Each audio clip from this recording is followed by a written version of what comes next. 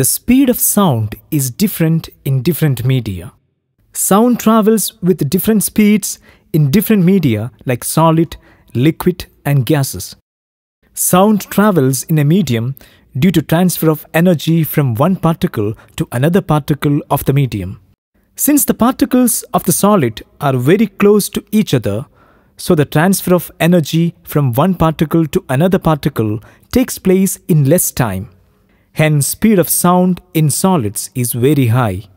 In the case of liquids, the distance between the particles is large compared to the distance of the particles in solids.